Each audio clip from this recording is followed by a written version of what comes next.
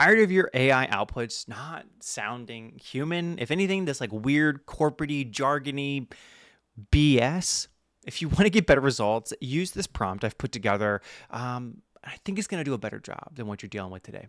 Inputting this prompt into, say, a project under something like ChatGPT or other modules, maybe you're using Claude, and putting it in as the system prompt for a project and letting it, or actually saving this as a file and having it be able to reference a file when you go to make a comment or make a new post or make a new email or prepare content for a campaign, is going to be a foundational way for you to ensure you get better results.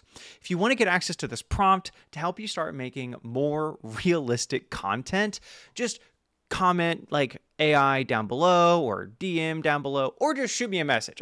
Just let me know what you're running, and then I'll make sure to shoot it over to you. Additionally, if you want, go to the link in bio, and I'm going to have it within my AI vault. If I go over to uh, the link, it will be here at the very top. So you can just click on this and then go and get access to the vault. You actually get access to all the other automations and other systems that we've built. I think you'll like it. Awesome. Talk to you later. Have a good day.